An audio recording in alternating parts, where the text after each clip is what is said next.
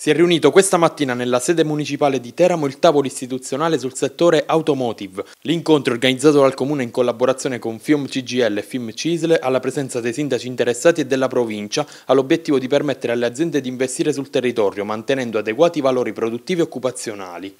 Eh, perché ci sia intanto una forte vertenza territoriale e politica istituzionale di un territorio che è stato troppo penalizzato e considerato non prioritario nell'azione nell che la Regione ha messo in atto detto nel corso di, di, questi anni, non ne voglio fare neanche una questione politica, proprio c'è stata una, una, percezione che il problema e la questione dell'automotive fosse limitata solo e esclusivamente all'area del Chietino. Così non è, eh, è forte, fortissima l'incidenza diretta e indiretta del settore automotive sulla nostra provincia e quindi deve essere assolutamente una priorità. Ecco perché eh, sederci tutti intorno a un tavolo ci consentirà di sviluppare un piano di azione che metta al centro anche l'area che potrebbe anche essere definita legata al cratere, un'area di crisi analisi complessa che mette al centro la formazione, che mette al centro azioni anche di agevolazione per tutto il settore che in questo momento è in sofferenza e in difficoltà anche nella fase della cosiddetta transizione eh, che si sta vivendo e che dobbiamo governare per non subirla e poi anche le infrastrutture.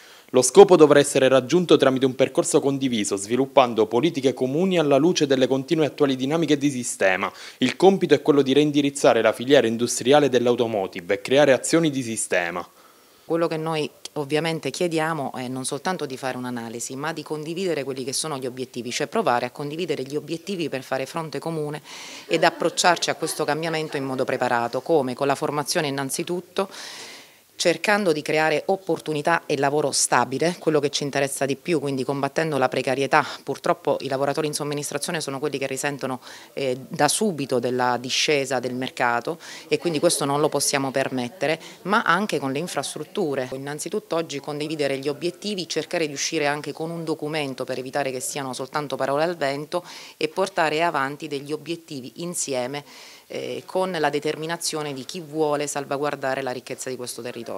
Eh, deve essere un tavolo costruttivo, non deve essere un tavolo lasciato lì tanto per, eh, deve avere un proseguo, quindi oggi dovremmo uscire con un documento congiunto di impegno da parte di tutti per sostenere e per valutare questa, dire, questa filiera dell'automotive che ci invidiano tutti perché noi non siamo secondi a nessuno. Va tutelata, eh, ma va tutelata con fatti, va tutelata abolendo tutto quello che è la burocrazia, le infrastrutture e quant'altro. Quindi l'impegno di oggi è quello di tutelare eh, le aziende e soprattutto in particolar modo di tutelare chi,